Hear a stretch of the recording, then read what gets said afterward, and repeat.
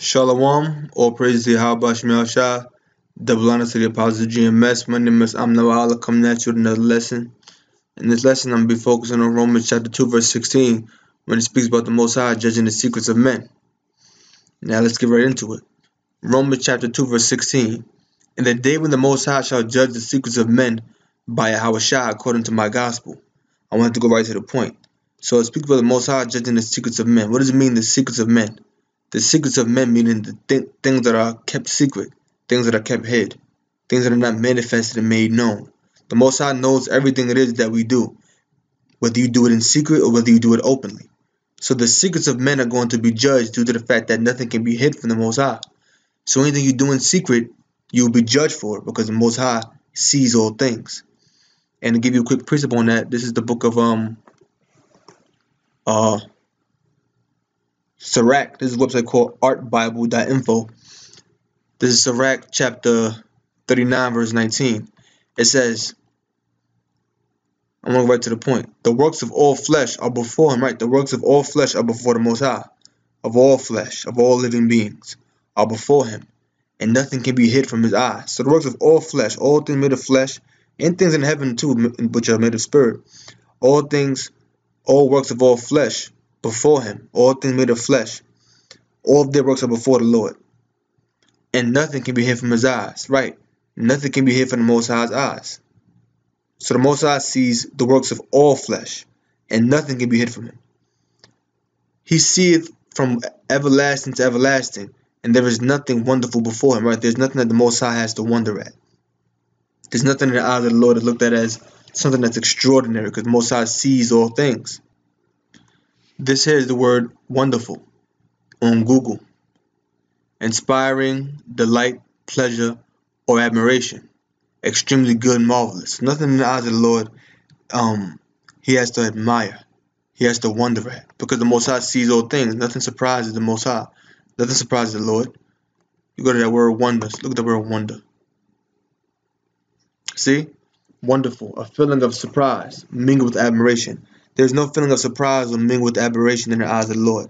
That's the reason why it says here in the book of Sirach 39 and 19, it says, uh, 39 and 20, excuse me, there is nothing wonderful, wonderful before him, nothing for him to admire, or nothing for him to wonder at, meaning nothing that gives him a feeling of surprise, mingled with admiration, or unexpected or unfamiliar, or, inex or inexplicable, because the Most High knows all things. So going back, so we just read those two scriptures, and he's going to, and let's go back to Romans 2.16. In the day when the Most High shall judge the secrets of men by Yahweh Shah. So the Most High is going to judge the secrets of men by Yahweh Shah, according to my gospel. So the secrets of men are going to be judged when the Most High sends his son Yahweh to bring vengeance upon the earth. Let's go to Ecclesiastes 12 and um, start verse 13. Let us hear the conclusion of the whole matter. Fear the Most High and keep his commandments, for this is the whole duty of man, right? And that's the whole duty of man to fear the Most High and keep His commandments. Verse 14, For the Most High shall bring every work into judgment. So every work is going to be brought into judgment with every secret thing, whether it be good or whether it be evil. So every work shall be brought into judgment, shall, shall be brought into judgment with every secret thing, everything hidden, whether it be good or evil. So if you're good, you're going to be judged on that. You're going to be receive a righteous judgment. If it's evil, you're going to receive. It's the judgment is still going to be righteous. The most all the most high ways are righteous. So if you're if you're um doing something, whether it be good or evil, you're gonna receive a, a righteous reward for what, for what it is that you do that's good. That righteous judgment is gonna be a reward that you receive for your goodness, a reward, a reward that you receive for doing the righteous bidding of the Lord, for doing the bidding of the Most High. But the judgment you receive for something that if you do is that's evil, is going to be a judgment placed upon you for the wicked act that you committed. It's going to be a punishment. You're going to be rewarded with punishment if you do evil, whether it be in secret, and whether it be good, if it's done in secret as well, you're going to be rewarded with what? You're going to be rewarded with blessings. Okay? Let's get another scripture. Now we mentioned, um, I mentioned it spoke about the secret thing, right? This is the book of Psalm, chapter 139, verse 1. Oh Yahweh Shah, thou hast searched me and known me. Thou knowest my down sitting and uprising. Thou understandest my thought afar off. So the Most High knows your down sitting and uprising. He understands your thoughts are far off, meaning he, know, he, he knows your down sitting uprising, meaning he knows your movements. He knows when you sit down, he knows when you stand up, he knows all of your ways.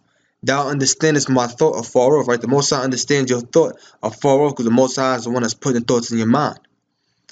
Thou compassest my path with uh, in my lying down, and are acquainted with all my ways. So the Most High compasseth your path. He's always compassionate about you. His spirit is always there. He compasseth your path and you're lying down, meaning when you're on a journey and when you're still. And are acquainted with all my ways. To be acquainted means what? To be familiar. So the Most High is familiar with all your ways. The Most High knows all your tendencies. Everything you do, everything that you have the tendency to do, even everything that you frequently think of and, frequently and frequently do and frequently say, the Most High is acquainted, meaning familiar with all of those ways. Nothing can be hid from the Most High. There's another scripture I'm thinking of. Um, King's heart is in the Lord's hand.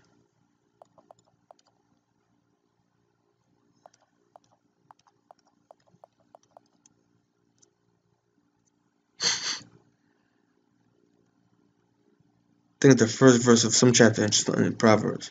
Okay, third verse. No, that's not it. Wait one second.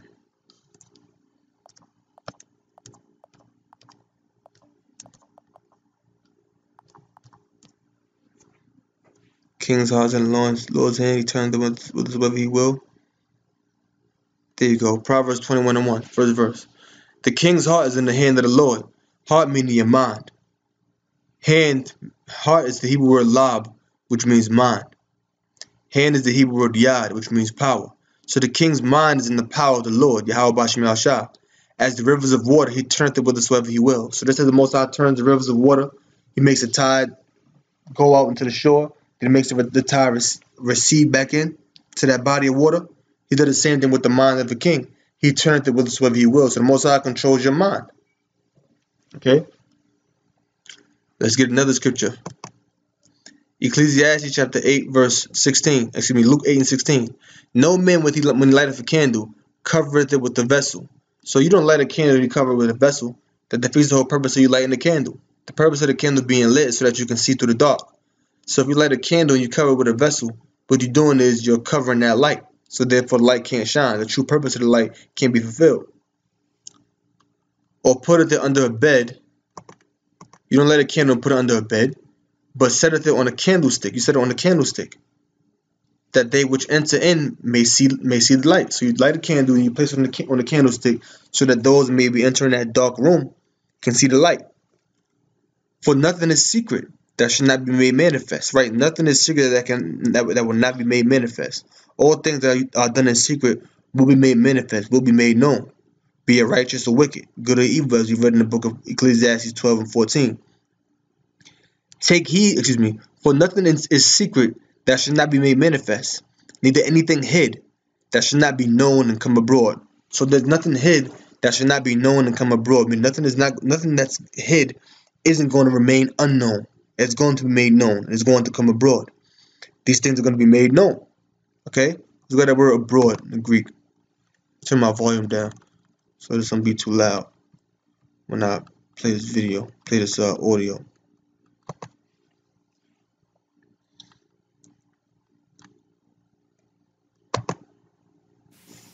Strong's G 1519. Eis. Eis. Eis into, unto, to, towards, or among. Okay? That's basically the point. So it says towards and among, right? Go back real quick. So nothing is secret that should not be made manifest, neither anything hid that should not be known and come abroad or come toward. Okay? Or come into, meaning to go throughout the world. It's going to be made known. Or go throughout whatever areas it's in, that's, that's where your actions were done in secret. A person may do something in secret and it may come abroad amongst the congregation. A person may do something secret and it may become abroad throughout the world, depending on how the Most High sees fit to make it manifest. Okay, so that because that word eis means into or abroad, I mean into or towards. So it can come abroad, or it can come into it can come into um into manifestation by coming abroad in a particular among a particular group of people, or throughout even throughout the world, whichever way the Most High sees fit, He could do that. Okay. And I'm gonna get another scripture. Um, go to the corners real quick. I believe it's Wisdom Solomon, the first chapter. Uh, let me see something. See Wisdom Solomon 1. Wisdom Solomon chapter 1 verse 10. For the air of jealousy, see, see if there's some more meat on there. Right. Uh, Wisdom of Solomon 1 and 8. Verse, verse 7. For the Spirit of the Lord filleth the world, and that which containeth all things have knowledge of the voice. Right, so the Spirit of the Lord filleth all the world, and that which containeth all things have knowledge of the voice. Right, so the Most High contains all, he's, his Spirit is in all things, and he has knowledge of the voice, he has knowledge of the things that you speak. Therefore, he that speaketh unrighteous things cannot be hid. If he's speaking unrighteous, it can't be hid. Because he hears what? He has knowledge of the voice. Neither shall vengeance when it punisheth pass by him. Because you're going to be punished for the unrighteous things. For inquisition shall be made into the councils of the ungodly. So a question is going to be made into the councils of the ungodly. Those who think that they're doing their works in, in, in um in secret. And the sound of his words shall come unto the Lord for the manifestation of his wicked deeds. So the sound of your words will come unto the Lord for the manifestation or, to be, or the things to be made manifest of your wicked deeds. Of your wicked deeds being manifested. That sound is going to come to the Lord. For the air of jealousy heareth all things, and the noise of murmurings is not hid. So the ears of jealousy heareth all things, and the noise of murmurings cannot be hid. You can't hide nothing. Therefore, beware of murmuring, beware of your murmuring, which is unprofitable, and refrain your tongue from backbiting. For there is no word so secret that should go for naught, meaning to go for nothing. Nothing that you say, no word so secret that should go for naught. So nothing that you say, regardless how secret it is, doesn't mean it's because you do it in secret, you're not going to be held accountable. And the mouth that belieth slayeth the soul. Okay? Now let's give one more scripture. Um, I got it right in my mind. Uh, wait one second. I just had it in my head. Uh, damn. See, that sentence I made me forget. But it's another scripture. Okay, I, I remember it.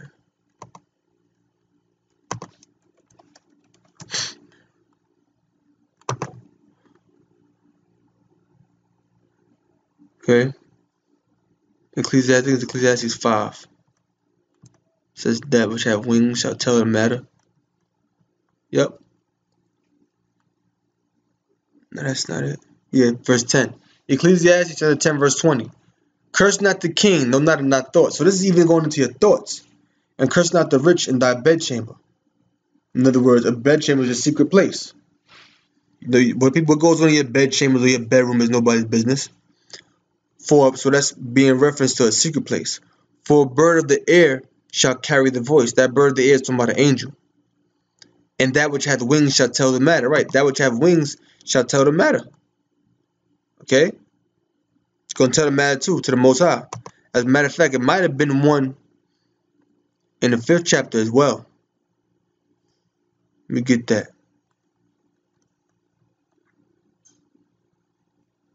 When it says, um, well, that's one talking, that one was talking about something else.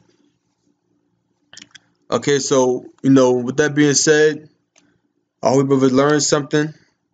Until next time, I'm end the show. Shalom.